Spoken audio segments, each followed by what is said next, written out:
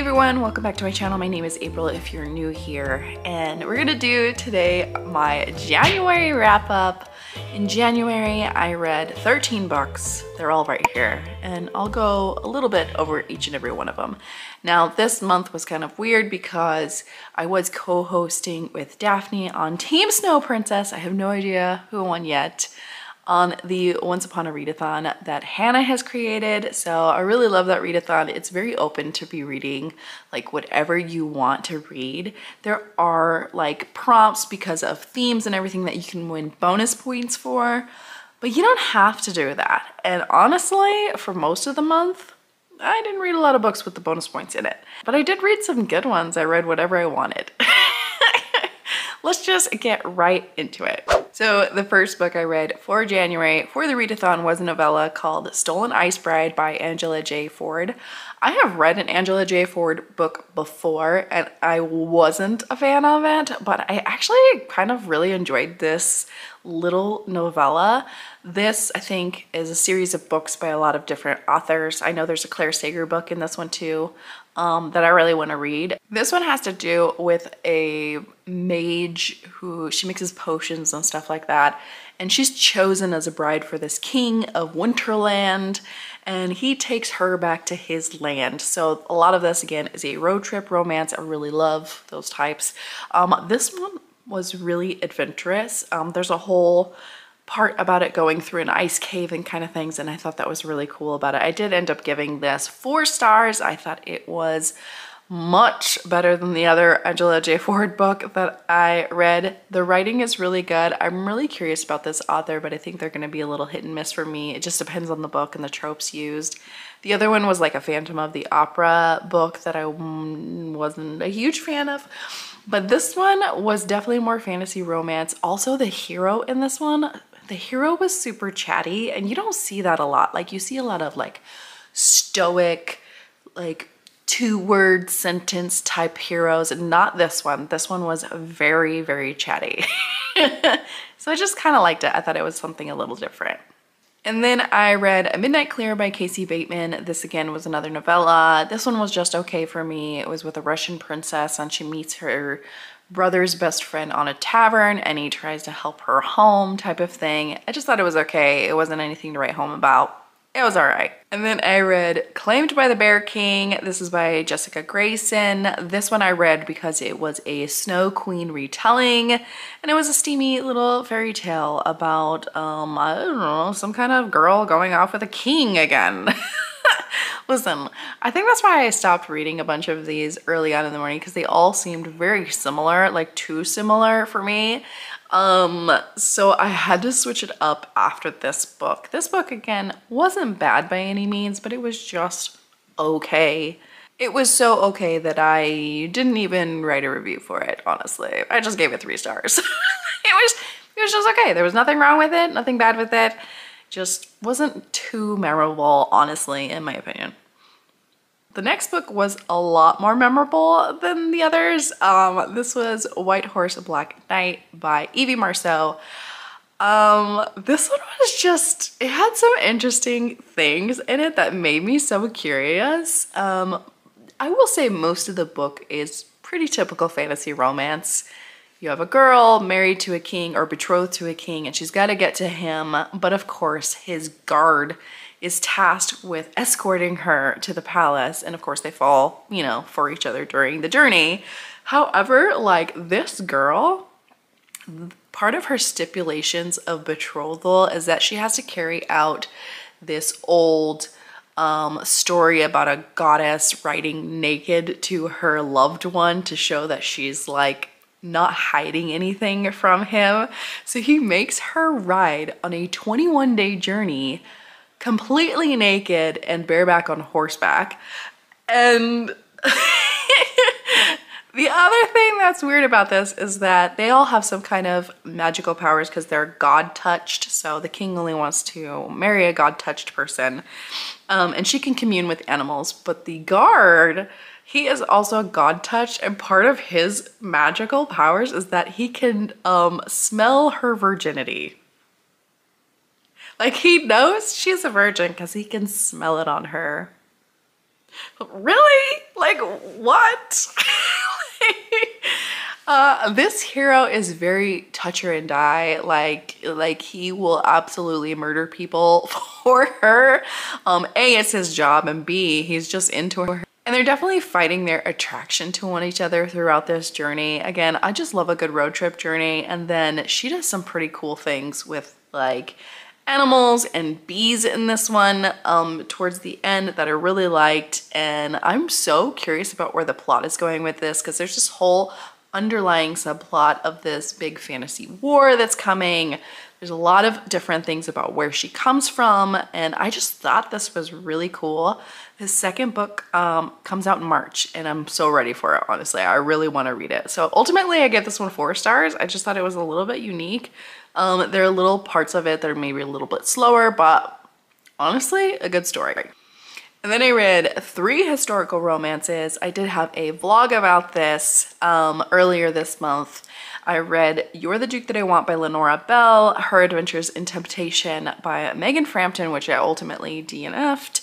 And then I read Any Duke in a Storm by Amalie Howard. The Lenora Bell book I gave four stars. This was a Grease retelling and it made me sing through the whole thing. I just love the whole thing. Like if you want a Grease retelling, this will give it to you, but with like historical ball gowns and curricle races instead of like car races you know like like it was the whole nine yards on this book and I really really enjoyed it. And then Any Duke in the Storm is like my favorite pirate historical romance book now. Like I really loved this book. It had a lot of action. It the romance was great and it was pretty spicy honestly. Um, and then I just loved all the adventure with it. This heroine also is a complete badass. Like she is so badass. She's on my list now for all the favorite badasses that I have. um, I just really loved this. I did read this as an arc and in the beginning there are a lot of parts in it that are overly descriptive, which I think really drags down the pacing of it. But once I got past like 50% mark or something like that, I didn't have those feelings anymore. Um, I just really, really enjoyed this heroine and this hero. I love Amalie Howard's books, of course. This whole series, this is a whole series, um, the Daring Dukes series, this is a fourth book. But you honestly don't need to read the others if you don't want to, like just go into this one. However, I really highly suggest that you do read the others because they are all really, really good. Um, I just love this whole series as a whole. I think I've given each and every one of them four or five stars. It's great. Um, and then I really wanted to go back to some kind of winter book and um, some friends of mine, including Maggie and Vita, on the Discord. So we read Jacked Frost, a frosty gay erotica adventure. Unfortunately, I gave it two stars. This just wasn't weird enough. Like it was supposed to be a weird book because he's like Jack Frost, you know, like like somehow he Snow turns into Jack Frost and then they have a relationship. And it just really wasn't weird enough and it there was a lot of missed opportunities in it. I mean, for a gay erotica, I do think it was really good in those moments. Like it was very spicy and I liked the relationship of it. But like Everything else just didn't work for me. And then, and then I read The Ever Queen. Ah, I really loved this book. Um, I did give it four stars. There was just a few elements that I think were missing from it, but ah, what a great duology. Again, this is like a pirate fantasy romance with Vikings in it. Um, in the first book, The Ever King, um, this is like a spin-off series from another like nine book series, but I didn't read that series. Like I just went into this one and I thought it was fine. Like I don't need the backstory of all everyone's like parents. Like I just don't need that for me personally. So I went into just going into this one and I just love Erik Bloodsinger. Like he is a man. He is such a man and oh God, you know I love a good pirate. There's also like a really interesting pirate ship in this. Like the the ship is made out of something that I just have not heard of before. Also magical lands, that kind of thing. Ugh, I just, the whole like captive captor type romance in the first one was really great. What I got in the, in the Ever Queen that I was missing from the Ever King is the Viking aspect of it. I think the Viking aspect of the first one, the Ever King, was a little weak in my opinion. Livia's family is the Viking side and I just wasn't feeling it as much. Like I really wanted to feel it, but I had read some other Viking books very close to the first one. And I was like, I just wasn't getting that enough, you know, by comparison. So I think that's what was missing from the first one. But the second one, I feel it. I feel it. The Viking vibes are palpable and I really enjoyed it. Also, I really felt the longing in this book more between Erik and Livia. I think that's just due to the circumstances where the book starts out at in the second one. And then also the second one was incredibly more brutal. Like I, I just loved the brutality of the second one so much. Um, also, they're on, I'll just say they're on a, an island and what's going on on the island, I just really loved that. Why I gave it four stars and not five stars are just two little things that I think um, brought it down just a little bit. One, um, in the middle of this book, there's just like a giant sex fest, honestly. There is. it wasn't bad by any means, but it really brought down the pacing of the story for me. Like I was like, okay, let's get this over. Let's move along here. Like for me, I don't mind spice in my books at all. In fact, I freaking love it. But um, when it starts to like take over from the entire story, that's when I'm like, okay, let's get back to the fantasy portion of this romance a little bit for me. Um, the other thing is the one reason why I really loved the Ever King is that it has incredible anxiety rep in it. Livia gets panic attacks and she's an anxious person and Erik really comforts her in a way that brings her back to herself. In the second book that was nearly non-existent for me. I didn't feel it at all. I feel like it was just magically gone. Like it wasn't even talked about. It wasn't anything other than one quote that i will i love like i made a whole reel about it. I love that quote. But that's it. Like livia did not seem like an anxious person. She almost seemed like a different person from the first book which i can kind of see that she grew a little bit but it just wasn't mentioned period so I think that's what I missed most about the Ever Queen and why I gave it four stars. But I highly recommend this duology. It's so good. It's so action forward. And I really loved Erik and Livia's story. I specifically love Erik. Like I just, he's definitely book boyfriend material. And then I read a book called Heavenly Bodies by Imani Erriu. Uh, I hope I said that right. I probably didn't. I'm so sorry. I need to look that up. I should look this up before I make the video. Uh, that's my fault. but I really liked this book. Um, again, it was really fun. I read this with a couple friends of mine that are not part of the book community at all, and they also enjoyed it. Um, this one is about gods and how some gods are literally walking around with humans. In this book, our main character, Alara, is a princess fleeing her kingdom because this star god person um basically killed her whole family and took over her kingdom because she's part of some prophecy that says like she will kill a god or something. She'll fall in love with a god and kill a god. I don't know something like that um, so she goes to the neighboring kingdom, which of course is the enemy kingdom, and um, they negotiate to take her in in order for her to be used as a weapon because she can wield like three different powers, which is supposed to be like like all badass material, right?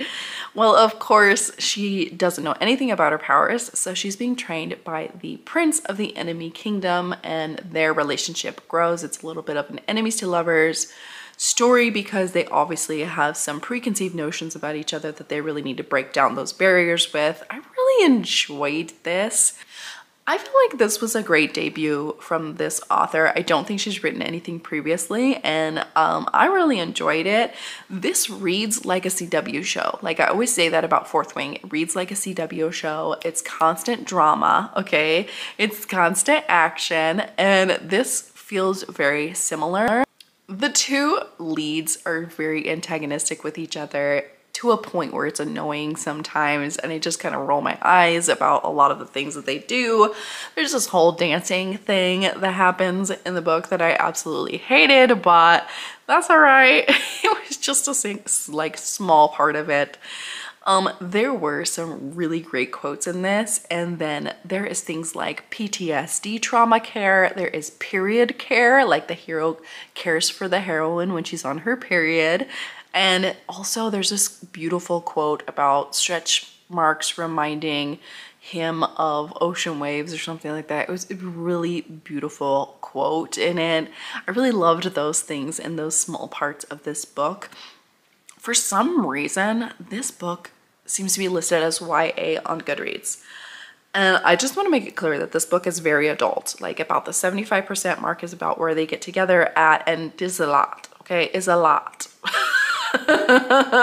There's like three scenes specifically. So this book is adult. I would probably classify it as new adult. But again, this was just a story that kept me intrigued throughout the whole way. And I definitely want to read the second one. I think it was interesting enough for me to continue on. And then I read A Polar Expedition and Other Stimulating Research Opportunities. This is by Kass O'Shire. This is kind of like a cozy fantasy romance, shifter romance. Um, our leads in here is a scientist researching this material that gives humans powers and then there is Burn who is a polar bear shifter. He's kind of like a guard tasked to guard this secret area where all his people live because humans don't know that they exist. And of course, she's walking right to his area. So Burn, he is told that he must basically kill on sight anybody trying to go to his land, which they call the sanctuary. But Siren is just so cute and quirky. She talks to herself, she writes notes to herself, that kind of thing. Burn is so smitten with her. But he's like stalking her from afar as a polar bear, like in his polar bear form. so she knows some things like watching her. And she's like would you just eat me already? And it just is so cute. When they actually get to the sanctuary there's like she has to defend herself like saying she's not gonna hurt anybody that kind of thing and burn sticks it out for her. And i just really thought this like book was very cute like super cute super adorable. Burn is like a cinnamon roll daddy um, character, actually not a daddy, he's an uncle. Okay, there's a difference. Burn is an uncle to twin nieces uh, that are like half orc, half human. So adorable. He dotes on them. It's just so lovely. Um, I, you know me, I don't really love like sweet romances that much, but this had just enough like sweetness to spice ratio that I really adored it um, Tiff from Tiff Talks Pages already read the second one after I told her to read this one. She says she loved it even more. So now I just really want to read like this whole series. Like I want to keep the series in my mind and I need to read the other one stat. Okay. I ended up giving this four stars and I really liked it. So definitely please check this one out. If you don't check out any other ones, check this one out. It's a novella length. Okay. You can read it very quickly. And then the last two books that I read, um, I read A Lady's Rules for Ruin by Jennifer Haymore. I gave this three stars again. It was fine. It was okay. It was another matchmaking historical romance. I think I found that I just really don't like that. Um, the heroine in here, she ruins herself because she's so tired of the marriage mart and then she becomes a governess to the Duke's newfound brothers, okay, that he never knew he had. So he needs like a governess to teach them the ways of the dukedom, like make them not street urchins, you know? And um, of course they like have a little romance and that kind of thing. It was fine. It was fine. It was good. It was fine. I really like Jennifer Haymore as a writer. I think the writing is really good. It just like, again, I'm not into the matchmaking thing and that's just a me thing. And then I read something completely out of my comfort zone. This was Frostbitten by Rebecca Zanetti. I really wanted a winter thriller romance type of thing. Um, this probably wasn't the best choice for me because I also gave it three stars. Um, this is a Deep Ops number six book. So you see a lot of characters from previous books that I never read and that's okay. You don't need to for the story, but just know that all these other people have their stories. okay? Like they're all, all there and they're all present in the story. So in this one you have Millie and Scott. Millie is like a gadget guru. She is definitely like a Q. It's mentioned many times from like James Bond. She loves her gadgets and she works for the government. She's trying to install some listening devices into the office of someone they're checking out for fraud. And she meets Scott. Sorry, my like cough really like today is not the day apparently to be talking a lot. She meets up with Scott during one of her operations and he kind of ruins everything by making her a witness in his divorce settlement. And so then people are after them. Okay, they're after them for many different reasons. There's a couple action scenes in here that were pretty good, but I think where it loses me is that I expect a romantic suspense to be full of action, lots of it. And I just don't get that. Like most of this was a crime drama or like a murder mystery, like honestly. Like I wasn't signing up for that. I just, I really want a very, very action forward romantic suspense and I just, I didn't get it. This book was spicy and I really liked that about it, but, um, and I liked Millie and Scott's relationship. Like I thought it was good, but mm, again, I just, it wasn't the greatest. So only one five star from me this month, which is kind of a downer. Like I thought I would have more five stars in the beginning of the year, but that's okay. We'll get there. I still enjoyed most of the books that I read, like majority of them. They were great stuff. Thank you for joining me today on this wrap up. If you are not subscribed, please subscribe because I have a lot of amazing books that I'm gonna read for February and I can't wait to get to them.